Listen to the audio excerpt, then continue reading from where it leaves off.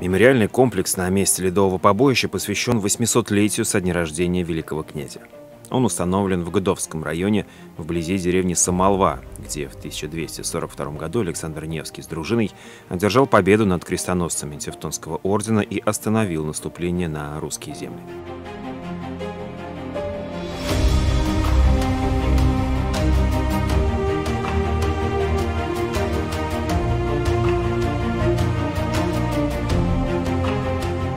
Грандиозный монумент посвящен не только великому князю, но и его 14-летнему брату и воеводе с шестью витязями, возвращающимися после битвы.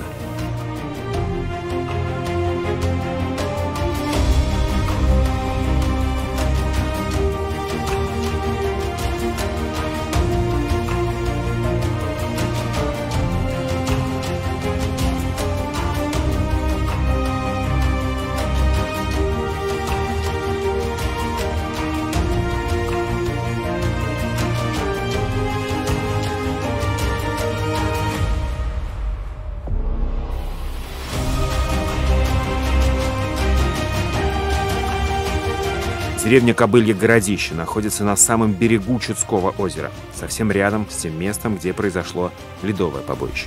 Здесь же бронзовый поклонный крест и памятник князю-победителю. В 60-е годы в Самолве находился штаб экспедиции по уточнению места ледового побоища Академии наук СССР. Теперь это музей, который создан в память о многолетней исследовательской работе советских историков.